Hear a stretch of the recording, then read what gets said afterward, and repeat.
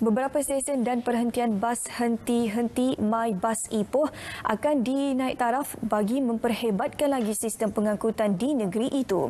Menurut Exco Jawatankuasa Perumahan Kerajaan Tempatan Pengangkutan Awam Hal Ehwal Bukan Islam dan Kampung Baru, Paul Yung Chu Kiong, penambahbaikan itu juga termasuk meluaskan laluan perkhidmatan khususnya di luar bandar.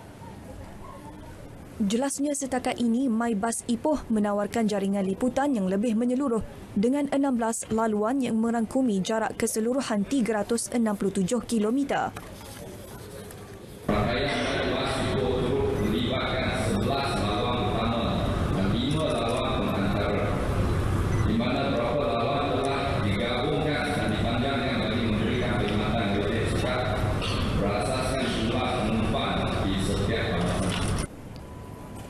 Beliau berkata demikian ketika menjawab soalan lisan adun menglembu Chow Kam Fun pada persidangan keempat Dun Perak ke-14 di bangunan Darul Rizwan Ipoh.